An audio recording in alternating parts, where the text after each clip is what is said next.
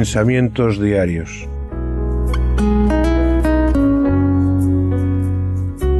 Sencillas pero profundas reflexiones para cada día de nuestras vidas.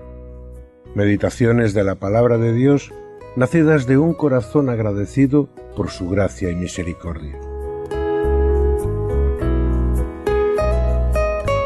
Pensamientos diarios.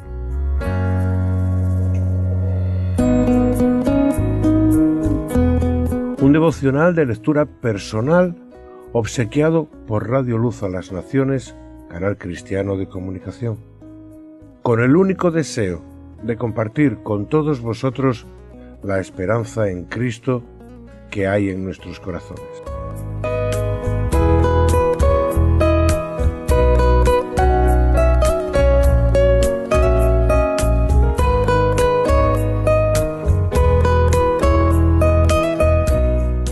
La muchacha que venció el miedo.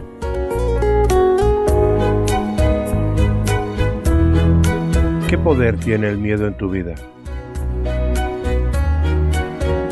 En el segundo libro de los Reyes, en el capítulo 5, encontramos la historia de Naamán, un hombre al que podríamos definir como importante, poderoso, valeroso y reconocido. Pero siempre hay un pero. Era leproso. Su vida estaba hipotecada por su lepra, y esto le condicionaba absolutamente. Exactamente como ocurría con nuestras vidas antes de conocer a Cristo. Podíamos, éramos, hacíamos, pero el peso del pecado lastraba nuestras vidas, hasta el punto de no poder seguir dando ni un paso más sin pedir ayuda. ¿Cuánto pesa la letra del pecado, cierto? Pues ahí estaba Naamán, sin solución para su vida, hasta que una muchacha esclava tuvo el valor para declararle la solución a su problema.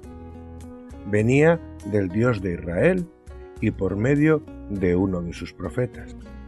Ella no se paró a pensar que aquel hombre enfermo la tenía como esclava, ni que el Dios del que le hablaba era para ellos un Dios extraño, Aquella muchacha simplemente dejó que su corazón fuese movido a misericordia y venció el miedo de hablar a su amo, el miedo de hablarle de otro Dios diferente.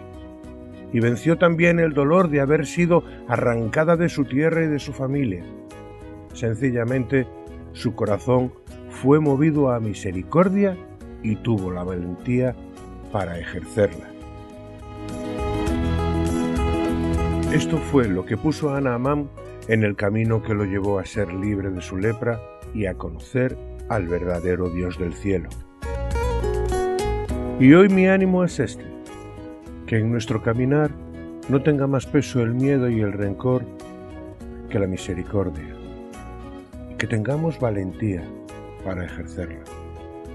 Y esto traerá libertad a nuestras vidas y a todas las otras vidas a las que la nuestra alcance. Pensamientos diarios. Meditando en la palabra de Dios.